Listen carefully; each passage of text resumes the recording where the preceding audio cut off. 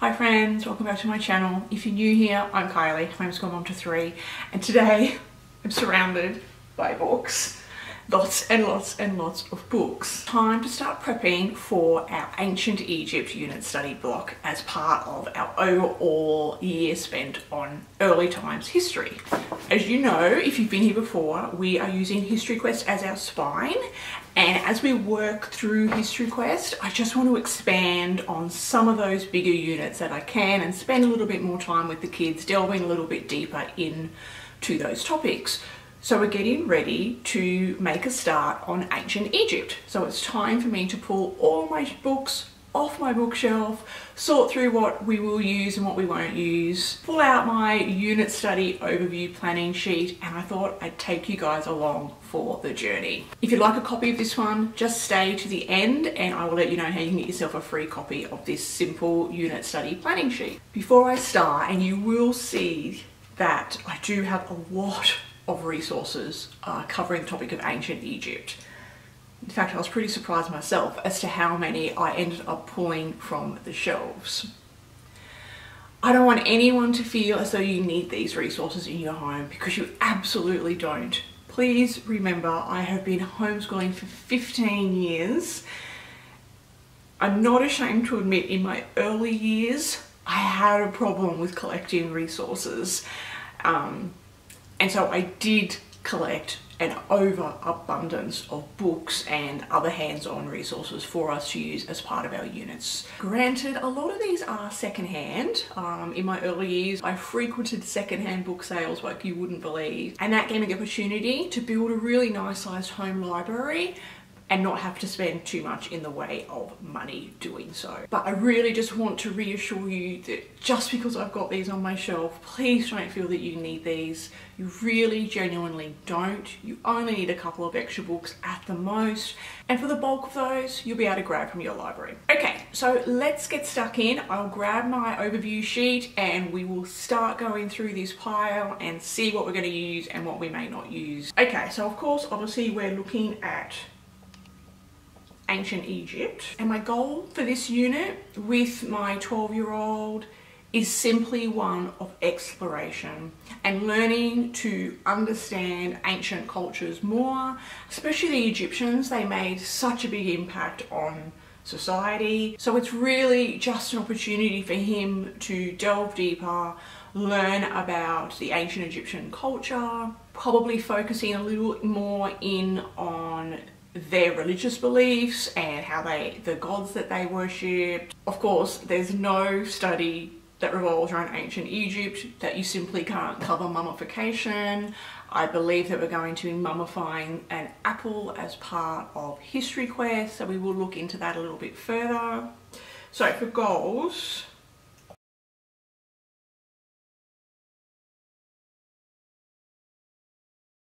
like all of these history unit studies, they're not a massive three month unit study. I'm really not sure whether he will write some kind of written report at the end. It will just be a case of seeing how we go as we progress through. With each unit, there will be some kind of him documenting something from the unit and what he has learned. How we pull that together, I'm not completely sure just yet. I often tend to let that part flow and just see how involved he is in the topic because I figure if he's if he's not loving it there's really not a lot of point in me pushing him into have to produce something at the end of the unit. So I let that play out a little bit um, and see how we're going before I make those decisions as to whether he will write a five paragraph essay or whether I will allow him to simply create a basic notebooking page and share some of the information that he learned on the unit. So I'll just let that play out and see how we go with that. Alrighty, so I'm going to skip books. We'll leave those and we'll come back to those in a minute. Documentaries. Actually, I do have one. I thought I had a couple more on the shelf, but I can't find them, so I'm not sure where they are. But I've got a good old DVD. Lucky we still have a DVD player. King Tut's Curse. And then for a bit of fun, a little movie, Prince of Egypt. So we will pop those on at some point through the unit study. Of course, when it comes to other documentaries, I will sit down and go through Curiosity Stream and Netflix and see what I can find over there. King Tut's Curse. In regards to field trips and excursions, getting out and about in the community around the topic of ancient Egypt, going to be really hard here.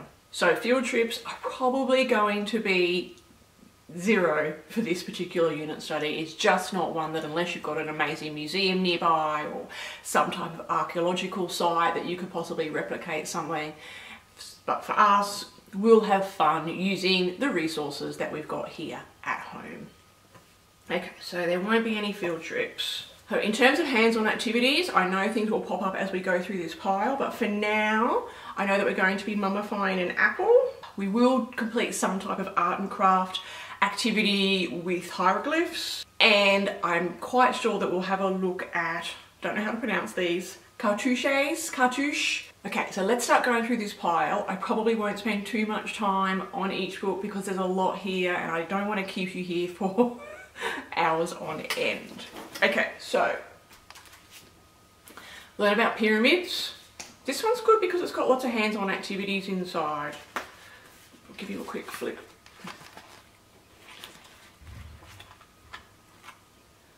So this one will be great for actually finding a hands-on activity. I'm just going to have a quick flip through. And here's the dead giveaway that I bought this second hand. A second hand price sticker in it. So this is actually quite a good one. Pyramids in math. So uh, we might actually take a look at that as one of our hands-on activities. Ancient Egyptians and their neighbours. If you've seen some of my other videos, you know that I love these activity books. These are filled to the brim with loads and loads of hands-on activities. This one's not just Egypt, but let's have a quick look and see what I can find in here that we may be able to use as part of our unit study. So here we have to create an Egyptian pyramid out of sugar cubes. Or this one is taking a look at how they may have built some of their gardens. Of course, living in the desert as they did. I'm sure they needed some type of garden area. So it gives you the full step-by-step -step instructions if you need that. How to make little trees. Oh, then we've got clothing. Okay. You can make a girl's dress. I'm not sure how much my son will be into that kind of thing. This one could be fun. So hieroglyphic secret notes. In fact, because we're doing history with a small group of friends, this might be a great hands-on activity we can all do together and send each other some secret notes. Okay. Seeker Knowledge, the man who deciphered the hieroglyphs. I like this one because it's for, and this one came in all stuck on the packaging. This one I did buy brand new um, but the packaging wasn't sealed properly. So it is... But this one, as you can see, is a picture book more suited for older children. We'll definitely make use of that. A Day in the Life of a Pharaoh. You Wouldn't Want to Be Cleopatra. These You Wouldn't Want to Be books are always pretty fun. Go through some of the, the not so nice parts uh, in a fun, comical way for the kids. And you wouldn't want to be a pyramid builder. No way. Could you imagine what that was like, building those pyramids? I have a National Geographic copy that um, has a section on King Tut. Oh, we have another one. You wouldn't want to be an Egyptian mummy. Uh, that one will be fun. You've seen these Leap Through Time books. These are really good. Leap Through Time Pyramid. So they are basically a timeline book. And it depicts what the area may have looked like around that time. So here we have the year 2700 BC. And then we've got 200 years later, five years later, 10 years later. So it just shows how it may have progressed over time. But they're interesting books, A Leap Through Time. There's a few of those available. Eyewitness Mummy. This one's probably not for every child. You would have to assess this one for your children.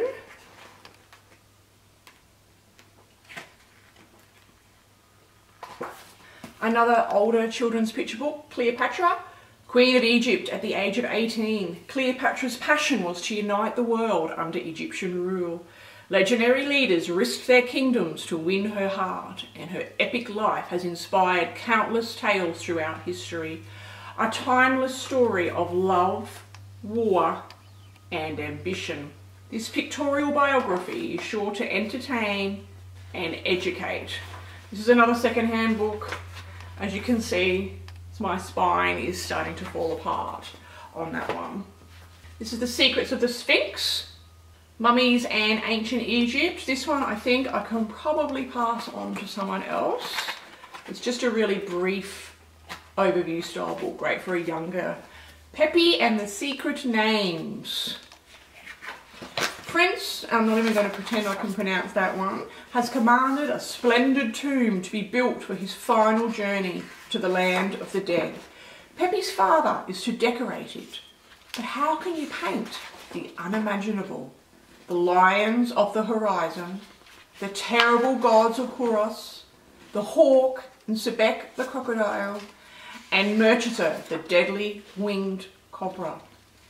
Pepi decides to find real-life models for his father, using his knowledge of secret names. So that is Pepi and the secret names.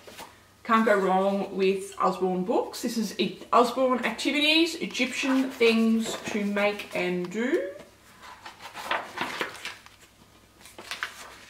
Again, I need to take a close look at this, but this might be one that is time for me to pass on to another family.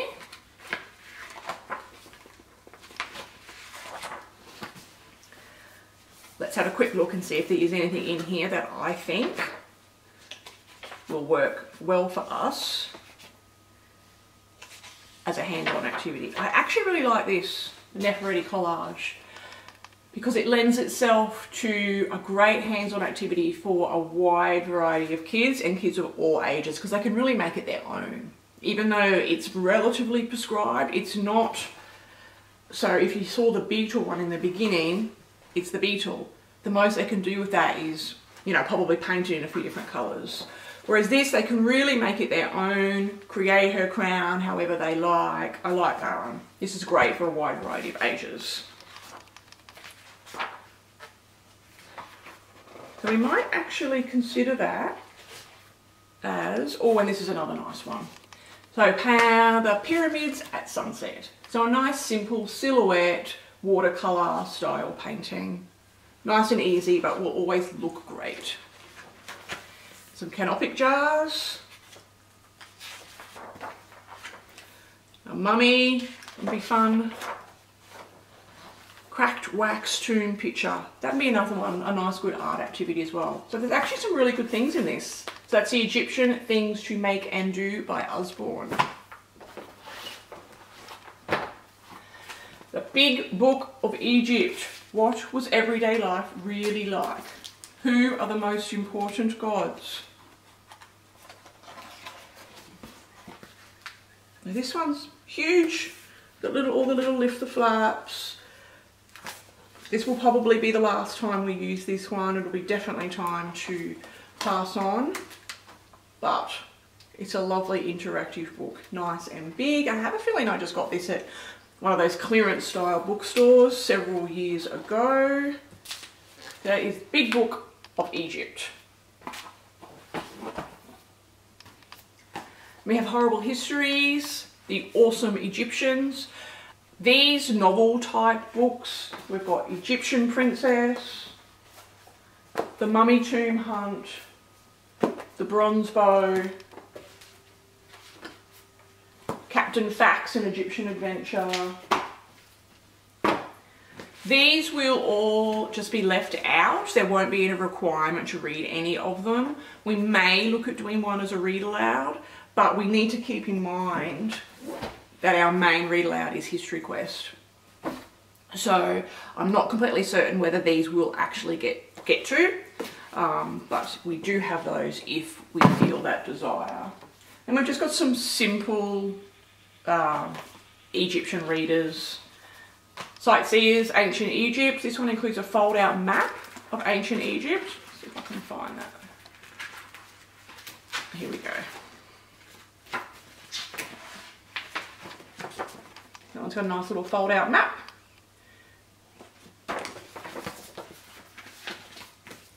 And then of course we have some DK readers. So we have Mummy Mysteries in uh, upper intermediate. So just to show you the level of that. That's Mummy Mysteries. And I've got level four, Secret of the Mummies. So $2 I grabbed that one for, as you can see. So just keep an eye out. Op shops, secondhand book sales, library sales, any of those things are all great places to find secondhand books. Ah, this is fun. This is my fun with hieroglyphs stamp kit. So inside, I'm not going to pull it all out because they're going to go everywhere, but these are all stamps if you didn't want to have to do them all by hand. And then in the back, this is put together by the Metropolitan Museum of Art. And then attached to the back is a book about hieroglyphs. It gives you all the information about the hieroglyphic alphabet. So this is one that will definitely get used. Okay, so this is a box kit called Pharaoh. Discover the land of the pharaohs and the amazing civilization of ancient Egypt. Inside this kit is a fun stick-on scene plus more than 30 stickers to help you recreate the land of the Nile. A cartoon fact book all about life in ancient Egypt, a pharaoh mask and a giant mummy poster. Okay, I have had this a while. I don't know if we've actually even pulled it off the shelf. So we have our Pharaoh mask. Oh, this is the scene with stickers that you can add to to recreate a scene.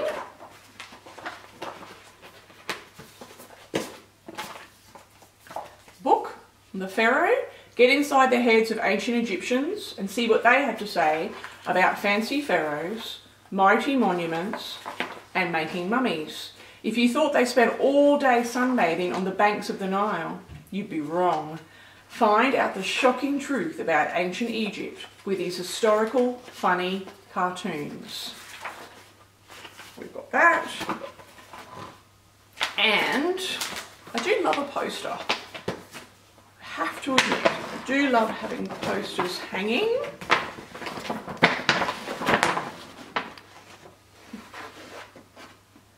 The Mummy Makers. So that is Pharaoh. I have had that a while. I will see if I can find a link for you. I can't make any guarantees on that one, but the Pharaoh.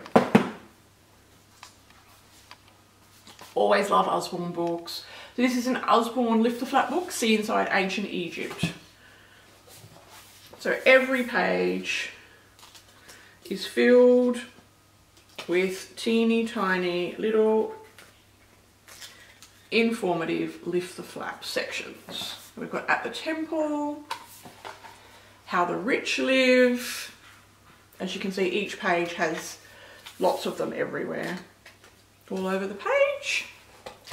Great Pyramids, 5,000 year puzzle solving a mystery of ancient Egypt. So all of these picture books will go in our morning basket and we will sit and read them at our leisure.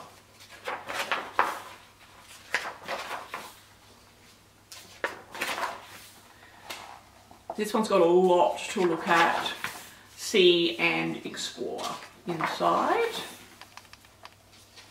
That is the 5,000 year old puzzle. And we have the Scarab's Secret. Pharaoh's painters have just finished decorating his new temple.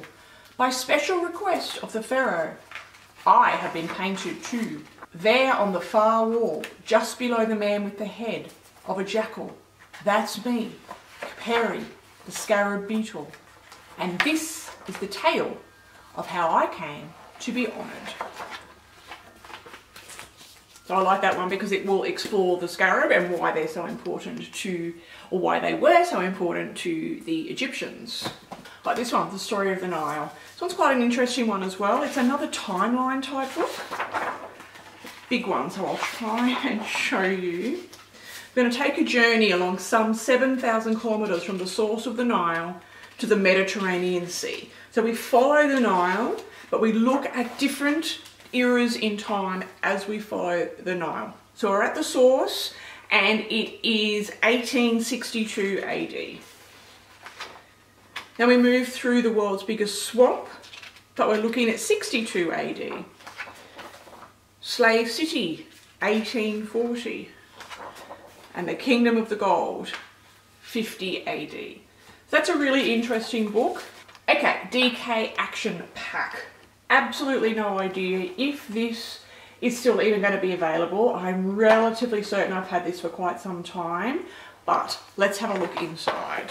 Okay, so we have a scale model of the Great Pyramid. Have you all seen these? These fake book containers. I came up with the idea, I have just a few little bits and pieces of figurines and things that you'll see. And I kept misplacing them, I didn't know where to put them because all my Egyptian resources are all together in one section on the bookshelf. But what on earth do I do with all the little figurines? So I got one of these and now I keep them inside and it just slots into the bookshelf with all my books. Tip of the day, perfect for all those little hands-on bits and pieces that you might lose and might not want to, might have no idea where to keep them. Get yourself one of these fake books. So I'm thinking, maybe not. Here we go. Scale model of pyramids. And then we have the Sphinx. Now I do know that not all of these came in this pack. I know that I've collected bits and pieces over the years, although I can't actually remember where everything came from. I've also got some more bits and pieces here, a canopic jar and a mummy and those types of things. So I have had a couple, oh, sorry, have had a couple of packs and I've just kept them all in there. So, but in this one, we've got the scale model of the Great Pyramid, the Pyramid and the Sphinx, and then we have another poster of the Nile.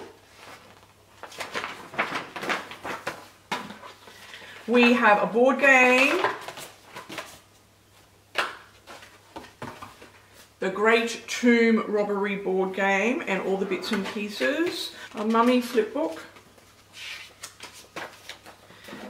secret letter written in hieroglyphs. And then you've got your hieroglyph book. We've got some ancient files for the kids to look at. A hieroglyph decoding wheel. Different Egyptian cards. We've got a soldier, craftsman, scribe, courtier, priest. Some more information. And making your own model at Giza. Okay, that's a great pack to explore. And in fact, this one I think would be really good. If you weren't using a spine, like something like this, I think that some kind of pack, like a hands-on pack like this, popped out and let the kids explore that, read a couple of books, see what comes up, what questions are asked, and take the unit study from there. So if you can find something like this, uh, that would be a great way to start a unit study. So it's the DK Pyramid Action Pack. I do also have this little cardboard that came in another kit. Some of those bits and pieces were from out of that. It's the Slinky brand Ancient Pyramid. And it actually folds out for you to explore inside a pyramid further. So that is the Slinky brand. I'm not sure if that one's still around. And finally, we have the Mystic Egyptian Tomb Dig. Are you exhausted? I'm exhausted looking at that. Um, so the, the bulk of those books are uh, exploratory picture books. So they will be left out inside our morning basket and we will use those pretty much every morning. We'll read through some of those over the period of a couple of weeks that we're studying ancient Egypt. Then we've got our few hands-on activities and most of those art and craft type activities we will actually do with our co-op, our history co-op friends. And then of course we spend each morning watching documentaries. So this is where I'll come back to my documentary list. And as we work our way through, we will create some kind of notebooking pages and consider whether we want to write some kind of report around Egypt. Oh, don't forget the unit study overview planner. I have one with lines, one with outlines. So depending on your preference, so they all come together in that one free download. All you need to do is hop on over and join the YouTube homeschooling community Facebook group. So this is a, the idea of this Facebook group is to bring together YouTube creators and homeschoolers who enjoy watching YouTube into one place. Basically, the dream is that this will become like a virtual homeschooling conference every single day of the week. So hop on over, I'll pop a link in the description box down below, join that group, and you'll be able to download your own copy of the unit study overview planner. And so that's about it. Thank you so much if you stayed with me this whole way. I really appreciate that. That was a big one. As I said earlier, I had no idea I had that many books. Um, so it really is a good opportunity now that I've got them all off the shelf to sit and go through them properly. And at the end of this unit, I think I'll be able to get rid of a good quarter or more of my Egyptian books and bless another family with those. Thanks again for being here. Until next time, bye for now.